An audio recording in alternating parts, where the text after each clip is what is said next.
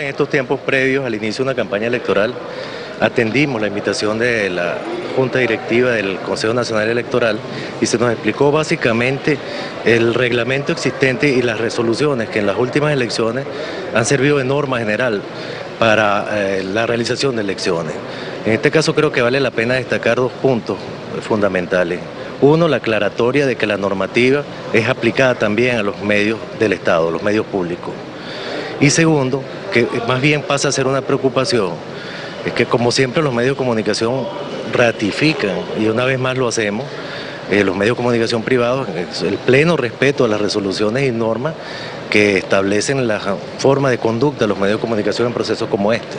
Pero en la práctica no siempre funciona así y esa es nuestra preocupación. De alguna manera, los colegas expresaron esta preocupación a través de sus preguntas cuando se les eh, plantea que nos, nos explique un poco la forma en que va a ser medida los puntos de equilibrio a que establece el reglamento. Eso pues no, no entendemos muy bien cómo se va a hacer porque la práctica siempre nos ha dicho que esto funciona de otra manera.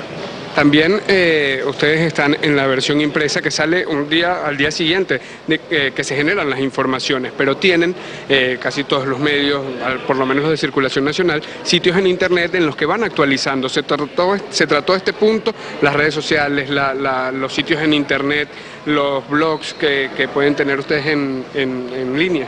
No, no, no se trató desde el punto de vista eh, concreto y directo de los medios digitales, pero está sobreentendido porque tiene una normativa muy general en la que pues prácticamente no hay puntos eh, eh, laguna. Más bien las lagunas se presentan en la práctica sobre la marcha en la medida que van ocurriendo los hechos.